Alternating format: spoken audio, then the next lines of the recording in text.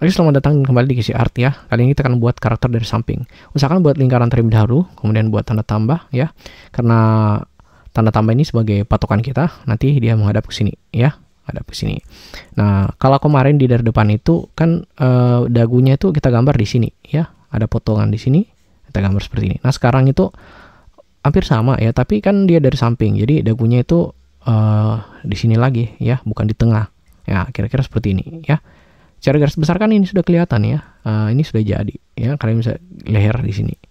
Nah secara, secara garis besar ini kan sudah kelihatan. Tapi uh, ini bentukannya masih kurang bagus ya.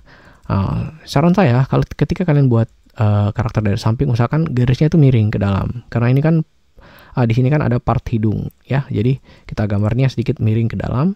Kita hubungkan ke sini ya. Uh, nanti telinganya kita cocokkan berdasarkan uh, bentuk bentukan kepalanya ya sebentar Nah, lanjut kita buramkan, kemudian kita buat layer baru.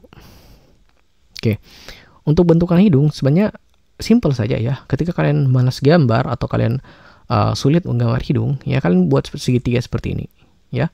Uh, garis lurus di sini, kemudian turun ke bawah. Uh, simpelnya seperti ini. Ya, kalau kita hubungkan ini semua,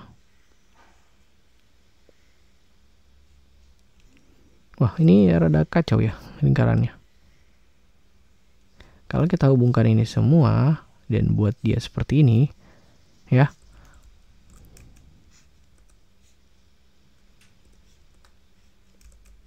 Nah, secara tidak langsung ini kan sudah berbentuk ya, berbentuk seperti karakter manusia. Nah, kalau saya copy ini, saya pindahkan di sini. Nah, perhatikan ini ya. Ini kan bentukannya sudah seperti manusia. Jadi kalian bisa uh, lanjut gambar di sini posisi mata kan di sini ya. Nanti telinga itu rata mata, jadi kita gambar mata terlebih dahulu. Nah, misalnya kita gambar mata yang simple saja seperti ini ya. Nanti bentuk telinga itu mau uh, rata di mata sini. Misal misalnya di sini ya. Kalian bentukkan telinganya di sini. Ya, terserah bentuknya bagaimana, kalian kalian bebas uh, membuatnya. Nanti sambungkan seperti ini untuk uh, dagunya ya, kira-kira seperti ini. Untuk mulut kalian bisa buat di sini. Ya, kira-kira seperti itu. Untuk rambut ya gampang saja sih ya kalian uh, bentuk rambutnya bebas. Nah, buat dia kalian buat dia bervolume seperti ini juga tidak masalah ya. Nah, kalian bebas membuatnya seperti ini. Hmm. Ya yang simple-simple saja ya seperti ini.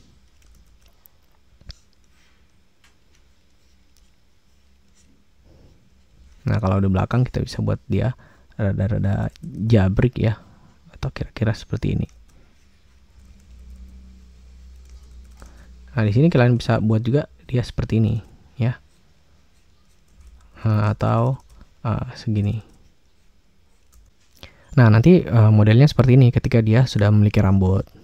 Nah kalau kalian tahu bentukan ini sangat banyak digunakan di anime ya walaupun tidak semua anime uh, ada juga yang bentukannya lebih sempurna. Misalnya ya kita edit bagian sini.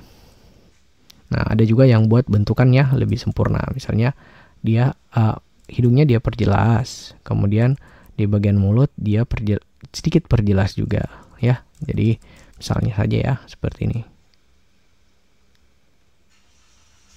Nah misalnya seperti ini. Dia akan sedikit perjelas di bagian sini mulutnya ya. Nah kalau kita pindahkan kalian bisa lihat perbedaannya Nah, nah ini kentara perbedaannya ya. Ini bentukannya itu enggak apa ya, tidak kentara ya atau simple sekali. Sementara ini bentukannya agak lebih rapi ya. Ada ada hidung dan lain sebagainya. Mata kalian bisa buat di sini ya. Nah, nanti seperti ini hasilnya. Telinga rata mata. Seperti ini ya. Nah, ini kan perbedaannya kelihatan ya dari hidungnya ya. Kalian bisa sesuaikan uh, keinginan kalian. Kalau ingin simple pakai yang ini, kalau ingin ribet pakai yang ini. Atau kalian ingin buat karakter yang sedikit maco ya, kita hapus dulu bagian sini.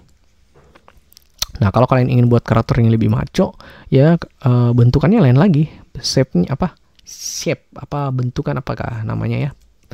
Ya garis-garis bentuknya itu berbeda. Dia kan sedikit lebih tajam begini ya. Tajam. Uh, ada sedikit lengkungan di sini. Ada hidungnya juga pun lebih tajam, kira-kira seperti ini.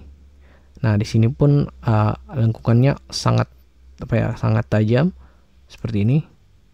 Uh, mulutnya misalnya bibir mulutnya seperti ini. Nah, dagunya agak panjang kira-kira seperti ini. Nah, kalau kalau karakternya tuh agak sangar jadi kalian buat matanya seperti ini ya. Uh, dia sedikit marah ya, kira-kira seperti ini. Kemudian matanya di sini. Nah, telinganya bisa kalian uh, desain sendiri ya. Terserah kalian. Nah kira-kira bentukannya seperti ini. Ini kan karakternya agak sedikit mm, apa ya? Nah, jadi bentuk kepalanya tuh dikit beda beda juga ya. Nanti kira kira-kira seperti ini bentukannya. Dia rada jauh dari normal ya. Nah kira-kira seperti ini. Nah, kalian bisa buat rambut di sini ya. Nah, buat rambut seperti ini. Saya ubah warnanya biar lebih bagus Nah, kalian bisa buat rambut di sini, ya. Nah, nah nanti uh, mukanya rada-rada seperti ini, ya. Kira-kira seperti itu. Bagaimana? Ada yang kurang? Ada yang ingin ditanyakan? Ya, kalian bisa tanya di kolom komentar, saya akan jawab uh, saya bisa mungkin. Nah, ini juga kalian bisa buat lebih apa ya? Uh, rambut yang standar misalnya seperti ini. Ya,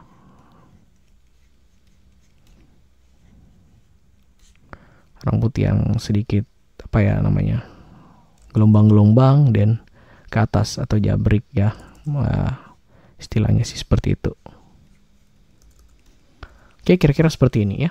Nah, jika ada yang ingin kalian tanyakan, ada yang kurang dimengerti, kalian bisa tulis di kolom komentar. Saya akan ajarkan bentukan-bentukan lain jika kalian suka dengan video saya ya. Jangan lupa like, share, dan komentar ya. Terima kasih. Uh, jika ada yang kurang dimengerti, silahkan tanyakan. Salam dari Kisi Art.